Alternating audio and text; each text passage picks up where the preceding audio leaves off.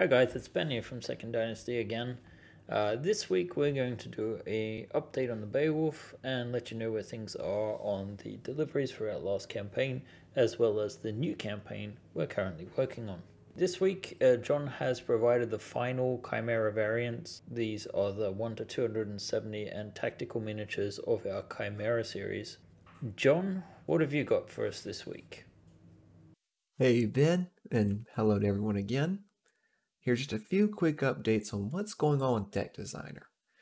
There are a few bundles missing, including the Alpha Shuttle, instructions for the Delta, the Starfighter 2-pack, and possibly some I forgot already.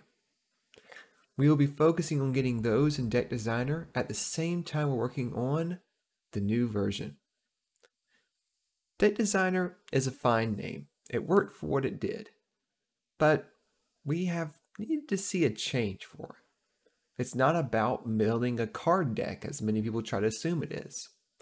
So, I'm proud to announce that the new version will have a name change to 3Dio. It'll be launching as a beta next week. What will be different from 3Dio and Deck Designer initially? Just the logo. More is to come, and I'm very excited. See you next week.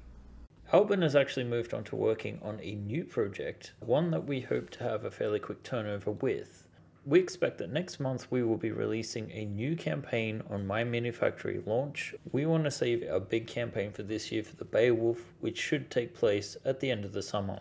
So in the meantime, we plan to revisit some of our pre-existing materials. We started making models in 2017, and since then, our techniques have improved greatly, the fidelity of our models have improved greatly, and even the techniques in the 3D printing world have improved to the point where, for example, you don't need as many built-in supports. So we are revisiting, revamping, and relaunching our oldest materials from Starship 1 and 2. This won't be a pure one for one new version of the old. It's more like taking that concept and modernizing it.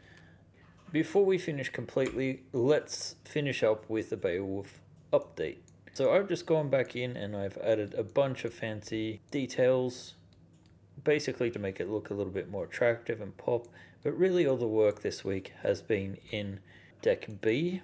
Alright, so this is of course the front of the Beowulf.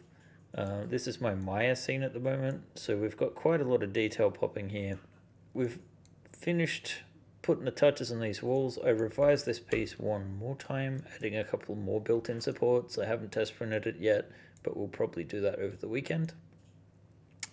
Uh, and yeah, we finished this uh, back wall. If I turn off the shadows a little, you can kind of see the details that we've added in.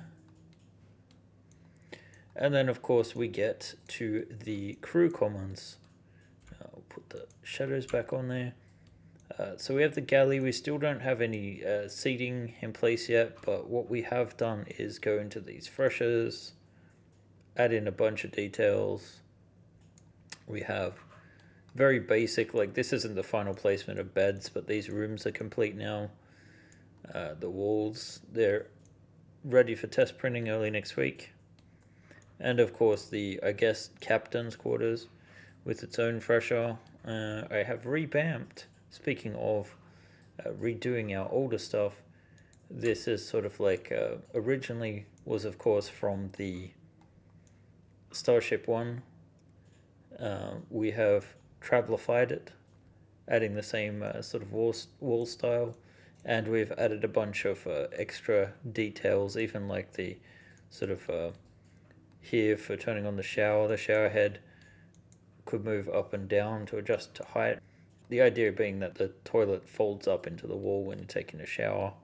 Added a sink and some mirrors and whatnot. So not 100% finished, but the general uh, layout, yes, it's done. So we'll finally probably just work on the upper deck for things before we move our focus a little bit more to this campaign.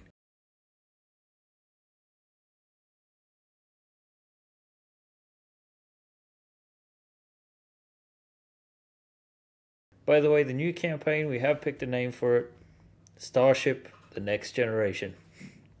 Anyway, that's it for for this week, guys. Uh, thanks for tuning in, and we'll be back next week with another update.